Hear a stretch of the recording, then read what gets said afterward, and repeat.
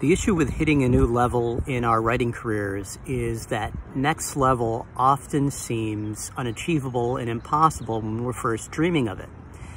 So here's a trick which works for me because there was a time when all I thought was I would be happy if I could buy a few pizzas at the end of the month with my writing money.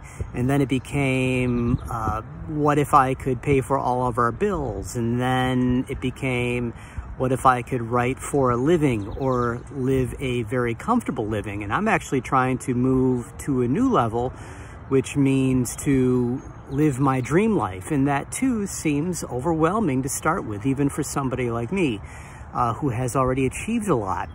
So wherever you are in your writing career, set that next goal level for yourself and make it something which is meaningful, not, you know, I'm making 50 bucks a month for my writing. I hope someday I can make 70 or 75. Be specific about a time and really push yourself. Like going from, you know, making a few bucks from your writing to paying for all your bills. If you're already at that level, then, you know, making an entire living from, from your writing. Or doing what I'm doing is trying to, to live your dream life and to condition yourself to prepare for that journey, I encourage you to go through your life and find examples of where something seemed impossible and then you learned how to achieve it.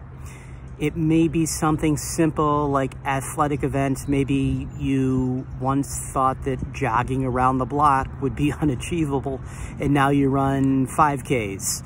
Uh, it could be something like uh, you didn't think that you would ever get back into reading and now you're reading 60 books a year. Uh, you know, just find little things in your life, whether it be from uh, when you were young or, or right now, um, and remember how that journey uh, took place and how silly it now seems to look back and and have never believed that you could have done those things that you are doing. And that's how you condition yourself for moving to the next level.